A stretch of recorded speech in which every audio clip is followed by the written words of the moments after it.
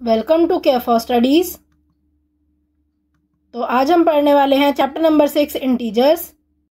तो आज हम पढ़ने वाले हैं exercise number six point one का क्वेश्चन नंबर फोर। तो चलिए स्टार्ट करते हैं।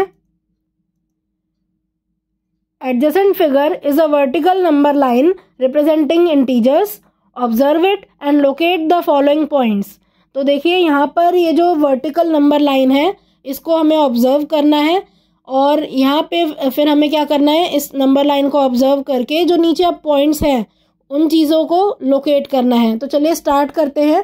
देखो, सबसे पहले यहाँ कहा गया है कि if the point D is plus eight तो हमें बताना है which point is minus eight तो यहाँ पे कहा गया है कि ये जो डी है, ये प्लस एट है। हमें बताना है कि माइनस एट कौन सा पॉइंट होगा। तो देखो, सबसे पहले तो देखते हैं ज़ीरो क्या होगा।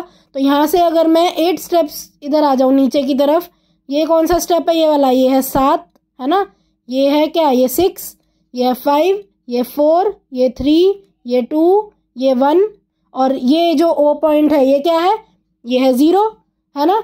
अब हमें ज़ीरो मिल गया कि ये पॉइंट है हमारा ज़ीरो है ना?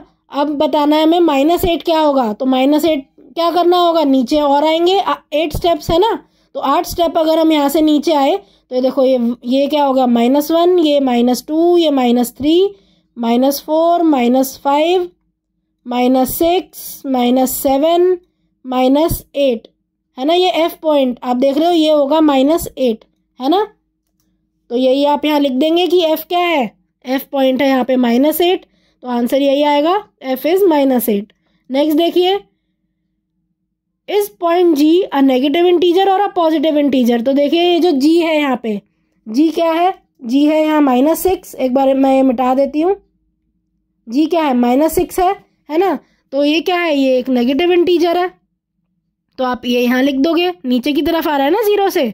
तो इसीलिए यहाँ पे जितने भी इंटीजर्स हैं, वो नेगेटिव इंटीजर हैं। नेक्स्ट पर आते हैं, देखिए। Right integers for point for point B and E तो बी और ई e हमें बताना है कि वो कौन से इंटीजर्स हैं? तो देखो बी क्या है? ज़ीरो से ऊपर है मतलब पॉजिटिव इंटीजर होगा। और कितने स्टेप्स ऊपर है ये? ये वन टू थ्री और फोर है ना? तो क्या हो जाएगा ये? ये होगा बी होगा यहाँ फोर और ई e क्या होगा? ई e को आप काउंट करें। काउंट करेंगे तो ई टेन स्टेप्स नीचे आ रहा है। मतलब ये क्या होगा? माइनस टेन होगा, है ना? तो आप यही लिख दो B is four and E is minus ten next पर आते हैं which point marked on this number line has the least value तो लीस्ट वैल्यू किसकी होगी इस नंबर लाइन पे? जितने भी पॉइंट्स दे रखे हैं, सबसे कम वैल्यू किसकी होगी? तो जो जो सबसे नीचे होगा, उसकी उतनी कम वैल्यू होगी, है ना? वो उतना नेगेटिव होगा। तो सबसे नीचे कौन है यहाँ पे? ई e है ना सबसे नीचे? अभी बताया था माइनस टेन है ये, और ई e से नीचे तो कोई है ही नहीं, यही सबसे नीचे है। तो आप लिख दोगे E has the negative has the least value और क्या वैल्यू है इसकी? इसकी वैल्यू है माइनस टेन चलिए। Next arrange all the points in decreasing order of value तो डिक्रीजिंग ऑर्डर ऑफ़ वैल्यू में हमें लिखना है। तो देखो डिक्रीजिंग ऑर्डर में कैसे लिख सकते हैं? आप एज इट इज़ लिख सकते हो, सबसे ऊपर क्या है? डी फिर उससे कम वैल्यू होगी सी की, फिर बी की, है ना? आप इस तरह लिख सकते हो D C B A H G F E है ना? ऊपर से नीचे तक आप अरेंज कर दीजिए। एक बार वैल्यूज़ भी देख लेते हैं सबकी क्या होंगी। डी होगा प्लस एट सी है प्लस फाइव बी है प्लस फोर ए है प्लस टू ओ है ज़ीरो एच है माइनस टू जी है माइनस सिक्स एफ़ है माइनस एट और ई e है माइनस टेन तो लास्टली हम क्या कर देंगे? अरेंज कर देंगे इनको डिसेंडिंग ऑर्डर में या डिक्रीजिंग ऑर्डर में. So thank you for watching आज की क्लास के लिए बस इतना ही. अगर आपको ये वीडियो पसंद आई हो तो इसे लाइक करें, इसे शेयर करें और हमारे चैनल को सब्सक्राइब करें.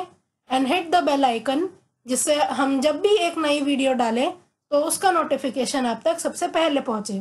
थैंक यू आप अपने डाउट्स सजेशंस और आपको जिस भी टॉपिक पर वीडियो चाहिए, हमें कमेंट करके बताएँ।